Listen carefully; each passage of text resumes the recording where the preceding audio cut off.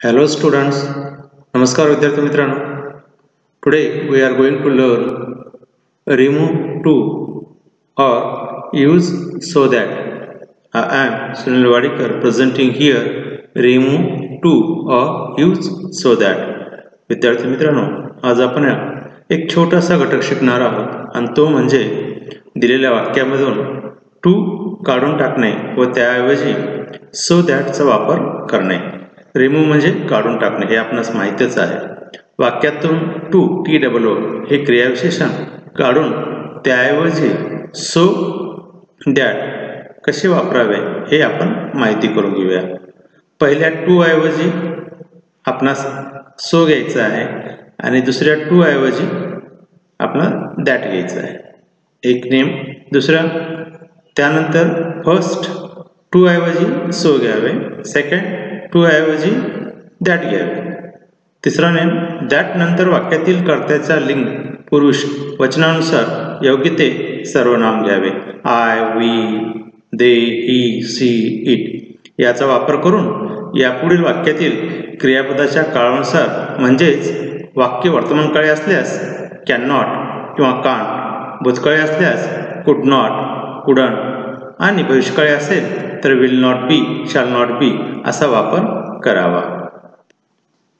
Example पाहूया आपण. I was too tired to walk fast too T double O आणि to याला remove करायचं.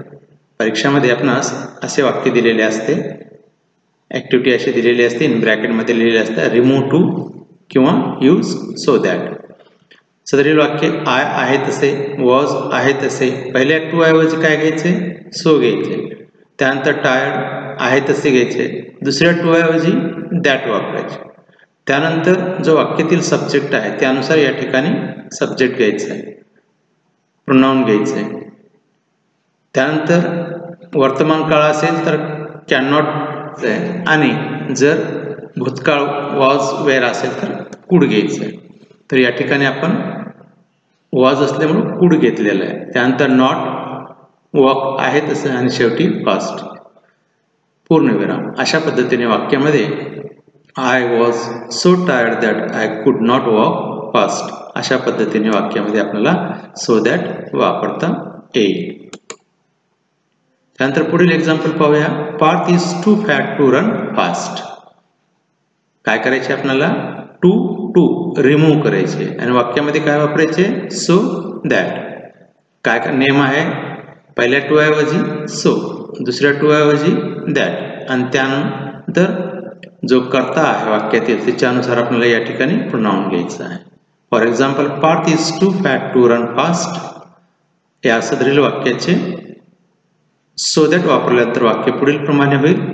Parth is so fat that he can not run fast लक्षात आलं तुमच्या?